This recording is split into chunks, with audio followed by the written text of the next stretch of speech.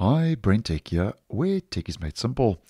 So, late last week on Friday, Microsoft shipped two Windows 11 Insider builds to the beta channel, build 22621 and 22631.21999. And that was with the update KB5029352. Now, in effect, build 22631 is uh, the build that's rolling out for the 23H2 feature update for Windows 11 uh, starting to roll out at the end of next month, September 2023.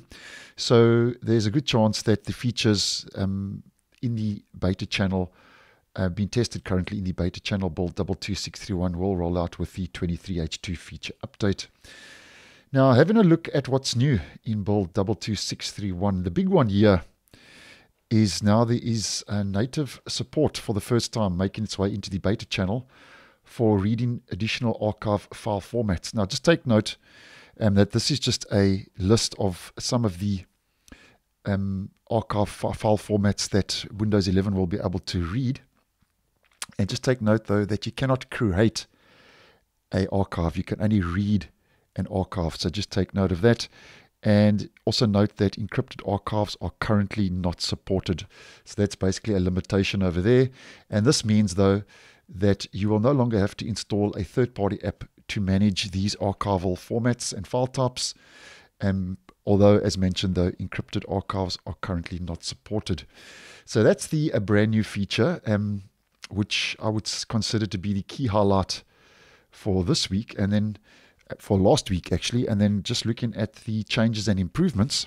This also rolled out for the dev channel, but just a quick mention.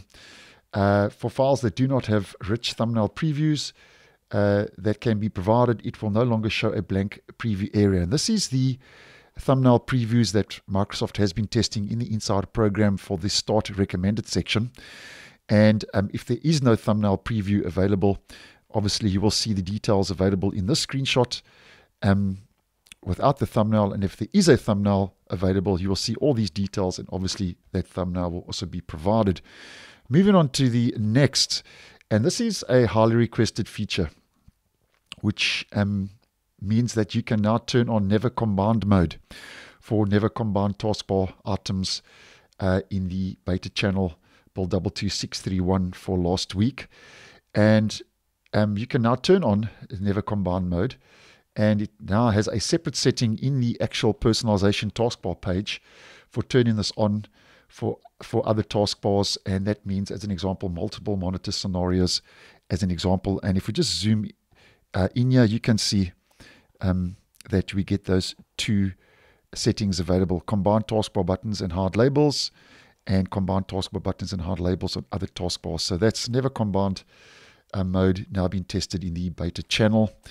Moving on to the next, and this has been around for the last week or so uh, in the Insider program and they begin to roll out an update for the snipping tool version 11.2306.43.0 and higher, which now introduces new buttons to edit in Paint for screenshots. So here we can see the first example, edit in Paint for screenshots and edit in Clipchamp for screen recording. So that's a snipping tool update.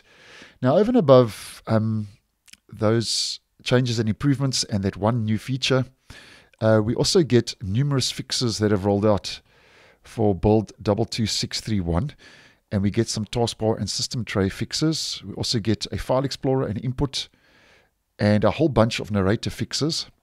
And then for both builds, um, we get a lot of fixes, plenty of them. So obviously there's still a bit of work to do um, in this build before it makes its way uh, to the stable channel. Um, starting the end of September next month, as mentioned, as part of the 23H2 feature update. And then over and above that, there's still a couple of known issues that hopefully Microsoft will be able to iron out before this does make its way to the stable version as the feature update. So that's what's new in the beta channel. And as mentioned, those pair of brand new boards rolled out late last week on Friday. So thanks for watching, and I will see you guys in the next one.